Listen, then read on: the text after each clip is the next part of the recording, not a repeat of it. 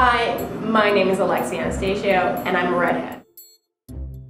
Um, down the street, like some people say like, "Ah, you're a little ginger." When I was in elementary school, kids would tease, and I don't know how I would think of this as a kid, but I'd just be like, yeah, you know, like I prefer cherry top, and I prefer carrot top. People call me like Pippi Longstockings. And I got pushed down the stairs, I got gum put in my hair. Like a girl threatened to like cut my hair because she thought that I loved my hair so much. She's like, oh, you think you're so cool with that hair? Being singled out because of it, I can name from second, third, fourth, and fifth grade an incident from a teacher and a student. To be honest with you, I hated my hair color because it was that was what people first saw. They saw the hair color. You know, I think it actually used to annoy my mom, and she used to tell me just just respond to everyone and say that God gave it to me because obviously it wasn't her that I got it from. Look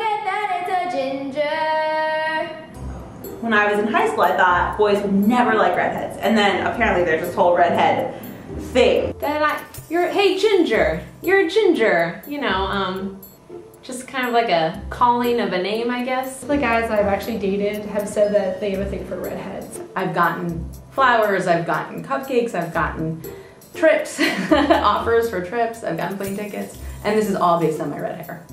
Look at that, it's a ginger.